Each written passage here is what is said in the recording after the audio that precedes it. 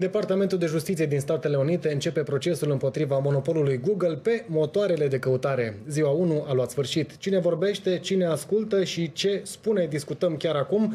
Uh, procesul intentat de DOJ vizează monopolul Google pe motoarele de căutare. Google Search e folosit de 90% de, de, din utilizatorii de internet la nivel global. Uh, restul procentelor sunt ocupate de Bing și Yahoo cu 3,3-3,2%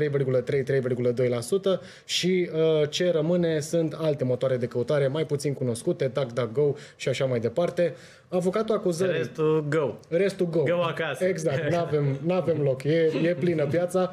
Uh, avocatul acuzării, uh, Kenneth Denzer, spune în declarația de deschidere că Google a menținut un monopol în ultimul deceniu prin acordul de excludere cu producătorii de dispozitive care nu includ concurența. Și ce, la, la ce se face referire? Face referire la deal pe care Google l-a încheiat cu Apple în 2017. De atunci plătește aproximativ 20 de miliarde de dolari pe an pentru a păstra Google Search ca uh, search engine-ul default uh, în browserul uh, Safari de pe uh, dispozitivele iOS și cu Samsung, unde plătește mult mai puțin față de cei 20 de miliarde pentru Apple, plătește 3,7 miliarde pe an pentru a avea Google ca motor de căutare în, uh, în sistemul de operare Android. Android.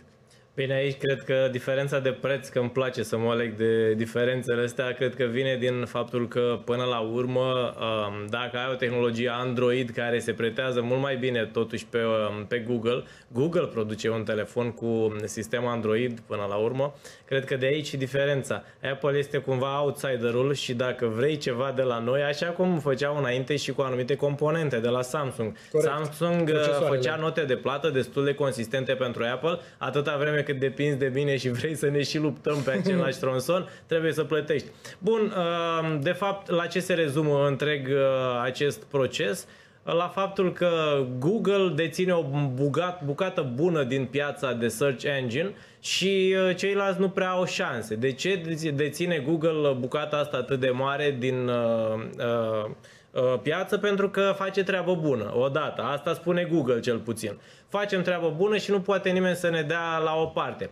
Întrebarea este cum ai ajuns să ne arăți că faci treabă bună, pentru că s-ar putea să fie mulți care pot, dar care nu primesc șansa de a intra în acel uh, concurs. Nu primesc șansa, nu ești calificat să nu știi, nu treci de uh, etapa preliminară și nu mai ajungi să joci la campionat pentru că ți-a fost uh, luat locul. Uh, acolo se demonstrează pe goluri sau pe puncte marcate sau pe ce vrei tu în funcție de sport. Aici se măsoară, pare să uneori și pe bani. Adică dacă plătim mai bine, dacă facem o înțelegere mai bună, ajungem să colaborăm și ajungem, bineînțeles, să reinvestim sau să ne dezvoltăm mai mult, că poate domnul Microsoft sau domnul Bill Gates, ca să nu uh, îl domnesc pe Microsoft, domnul Bill Gates nu prea vrea să bage bani în Bing atâta vreme cât el știe că are 3% din piață cât ar putea să bage încât să, acum, să acapareze sau să revină la un, uh, la un uh,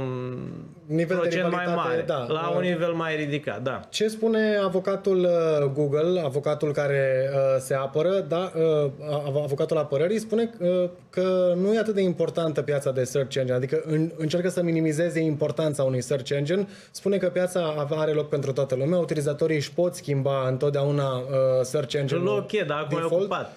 Da, Și uh, e foarte interesant, judecătorul, al cărui nume este Mehta, uh, îl, îl întreabă, uh, bun, toată lumea poate să-și schimbe. Nu da? e Meta, nu e Mehta. Nu, Mehta. Mehta. Așa, voiam să mai asigur. Dar e acolo în paradox, undeva o mână a, a destinului își spune, își spune cuvântul.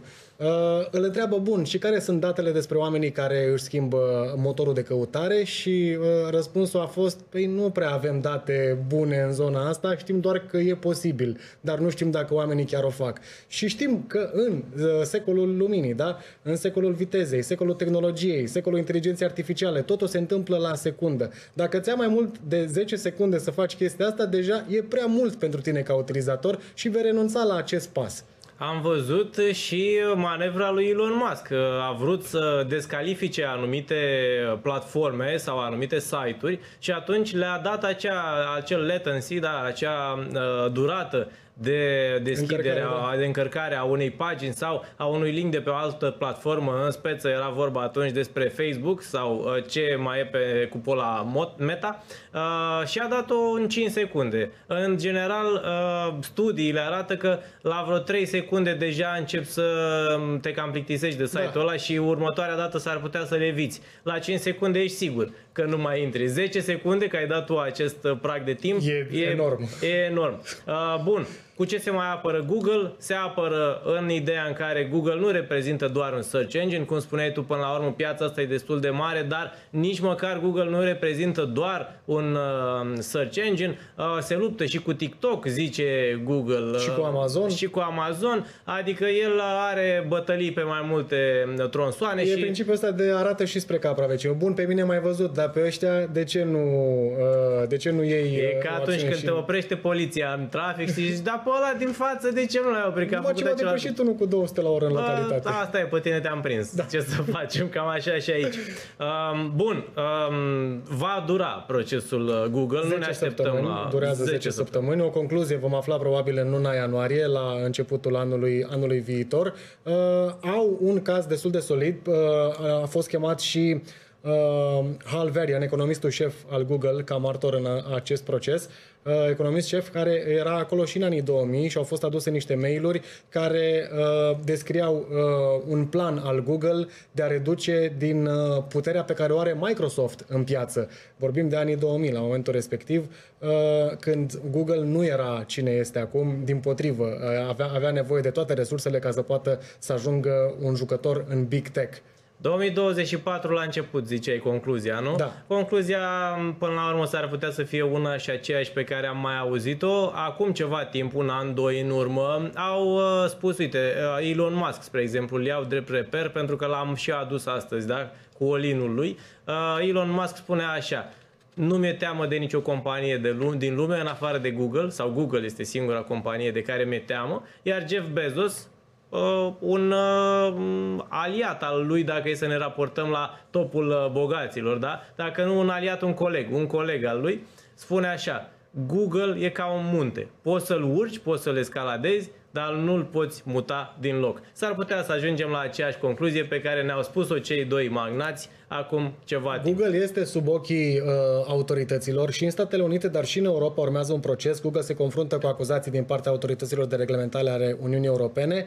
Uh, spune că au încălcat legea antitrust și în materie de uh, reclame și monopol pe partea de, de reclame. Deci un proces care va fi costisitor și pe partea aia. Știm că Uniunea Europeană este destul de drastică vis-a-vis de anumite lucruri. Uh, Threads, platforma lansată de Mark Zuckerberg de Meta, nu este disponibilă în Europa momentan. S-ar putea să fie de anul viitor. Uh, De ce? Datorită sau din cauza acestor legi care apără uh, cetățeanul european de colectarea de date abuzivă.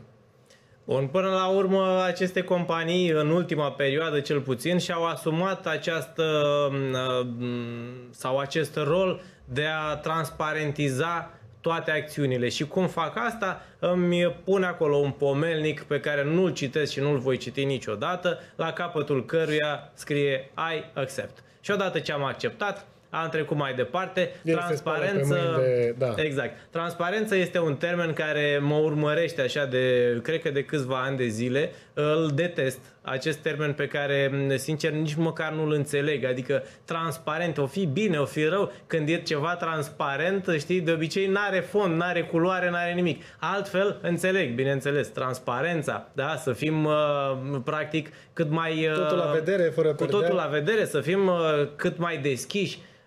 Transparență mi se pare un termen în spatele căruia se ascund toți, pe care îl solicită toți, dar nimeni nu-l oferă cu adevărat. De fapt, cred că atunci când e ca acea situație în care uh, dacă ești un mincinos notoriu, de obicei te scuzi foarte mult, știi, și găsești cât mai multe detalii atunci când vrei să explici ceva. Da. Cam așa se întâmplă, nu vreau să acuz, dar asta e ce vedem și nu cred că se va regla și nu se va regla nu la ei, nici măcar la noi, că aici e mai aproape și ne așteptăm de fiecare dată ca la noi să se regleze, așa că hai, tot cu transparență, mergem mai departe. Hai.